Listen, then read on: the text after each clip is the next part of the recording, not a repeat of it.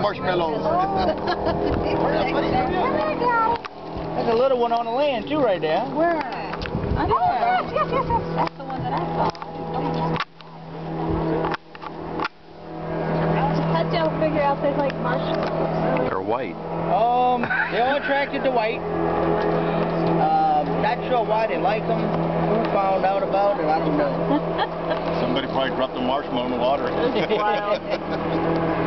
But they are attracted to white. They can jump about three quarters their body length out the water. That's why I sit way up here.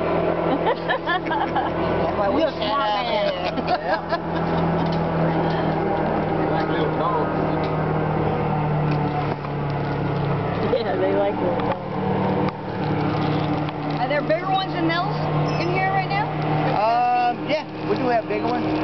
Just depends what's there when we pass them. Hopefully we got some big ones out there.